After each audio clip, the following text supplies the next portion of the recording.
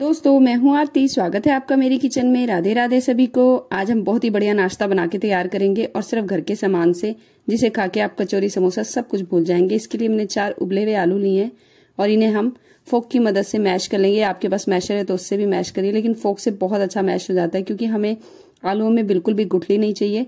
गुठली होगी तो नाश्ता इतना टेम्पटिंग सा और सुंदर नहीं लगेगा और बीच में से फटने का भी वो रहता है तो इसलिए गुठली ना हो। फोक से आप अच्छे से मैश करिएगा इसे।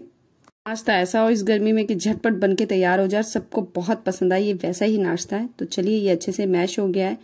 इसमें इसे चटपटा बनाने के लिए इस नाश्ते को मैंने इसमें लिया लाल मिर्च, जो हमारे घर में हरी से लाल मिर्ची हो जाती है ना, उसी को छोटा छोटा काट के लिया है।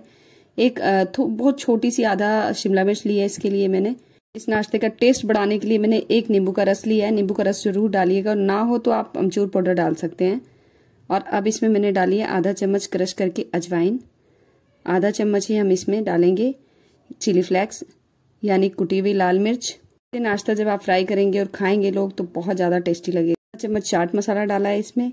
आधा ही चम्मच हम इसमें नमक डालेंगे। नमक अपने टेस्ट के अकॉर्डिंग रखिएगा, कम या ज़्यादा आप कर सकते हैं। एक चम्मच हम इसमें सूजी डालेंगे। सूजी मोटी या पतली कोई भी लीजिए। सूजी से बहुत ज़्यादा क्रिस्पी बनेगा, ऊपर से क्रिस्पी और अंदर से एकदम सॉफ्ट बन के तैयार होगा नाश्ता। और थोड़ा सा हम इसमें धनिया काट के डाल देंगे। दो बड़े चम्मच हम इसमें डालेंगे कॉर्नफ्लोर आप चाहें तो मैदा हो, आपके घर में मैदा भी डाल सकते हैं अरा रूट हो, वो भी डाल सकते हैं। ये चावल का आटा हो तो चावल का आटा डाल सकते हैं। बहुत बढ़िया नाश्ता बनेगा उसके साथ भी।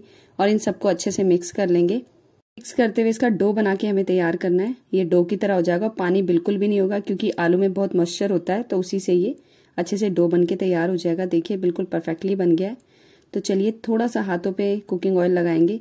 सरसों का तेल हो, वो भी लगा सकते हैं। बहुत बढ़िया रहता है।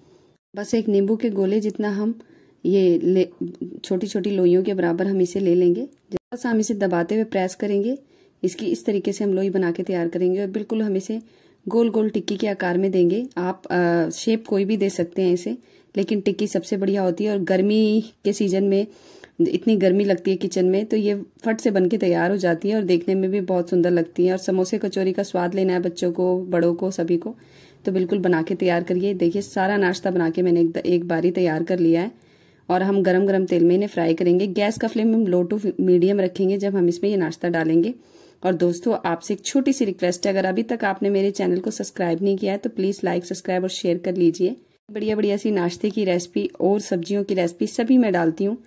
हर रोज अपलोड करती हूँ तो देखा कीजिए।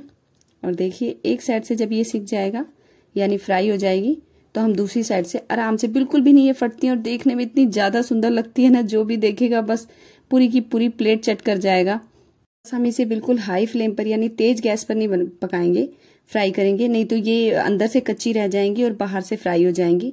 लो टू मीडियम ही रखिएगा गैस का फ्लेम और देखिए ये गोल्डन फ्राई हो गई है बढ़िया से तो हम इन्हें डिस आउट कर लेते हैं, निकाल लेते हैं तरीके से हम दूसरा भी बैच तैयार कर लेंगे। एक साथ सारा नाश्ता बनाइए और फिर उसे फटाफट से फ्राई कर लीजिए। आपका टाइम भी बचेगा। घर में सबको खाने के लिए भी बहुत ज़्यादा पसंद आएगा। बच्चों को बहुत ज़्यादा पसंद आएगा। बच्चों को आप इसे लंच बॉक्स में भी दे सकते हैं। बिल्कुल हेल्दी है। कोई नुकसान नहीं है। बढ़िया सा नाश्ता बनके तैयार हो गया है। चलिए मैं इसे आपको तोड़ के भी दिखाती हूँ। देखिए, देखने में है ना कितना लाजवाब सा और टेम्पटिंग और सुंदर सा।